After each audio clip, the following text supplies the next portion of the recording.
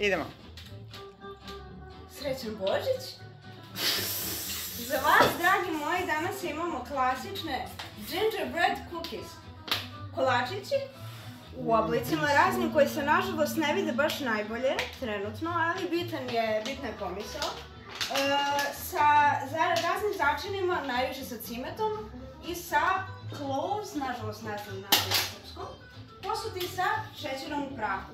Pored njih, za pored glavnog jela, snimi jelo na mene, evo, imamo hleb, rolnice. E, za razliku od običnog hleba, ovaj hleb je pun mleka i maslaca, što znači da dosta goji, ali je jako vredan toga. Vredan je gojenje. Preko toga ima lan, susan. Mogu da kažem da je poprilično narastao da sam čekala sat vremena, skoro duplo u svojoj veličini. Njega ćemo da uživamo uz sledeće glavno jelo. Idemo dalje.